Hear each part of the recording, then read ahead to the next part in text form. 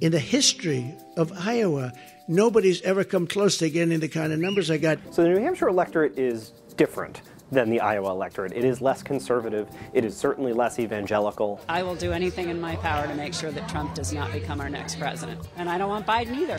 They don't have to be fearful and just simply jump on the Trump bandwagon. If he's convicted of a crime, I don't think he should be the president. I don't think you'll see as much support for falsehoods and conspiracy theories like the election was stolen in 2020 in New Hampshire as you did in Iowa because the electorate will be more moderate. A vote for Nikki Haley this Tuesday is a vote for Joe Biden and a Democrat Congress this November because that's what's going to happen. Who lost the House for us? Who lost the Senate? Who lost the White House? Donald Trump, Donald Trump, Donald Trump. This is really about whether Nikki Haley can position herself as a major challenger to Donald Trump or if having defeated both DeSantis and Haley in Iowa and then defeating Haley in New Hampshire, Trump is sort of a runaway train without any real significant opposition.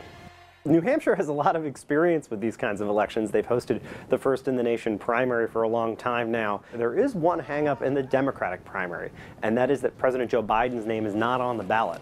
And so voters who want to vote for Joe Biden in the Democratic primary will have to write in his name.